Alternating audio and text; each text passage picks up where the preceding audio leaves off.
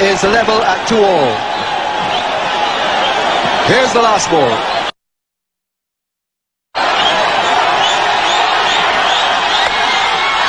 In the air, he doesn't get it. They've gone for one, they'll come for two. There's an invasion, and the return comes in.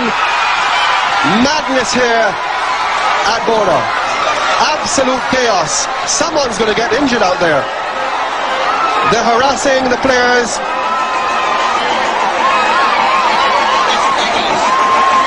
This is dangerous now for the players in the middle. Somebody snatched a bat. The police are out there surrounding Steve Waugh. He's been jostled and pushed. He's in the middle. Merv Dillon is out there with him.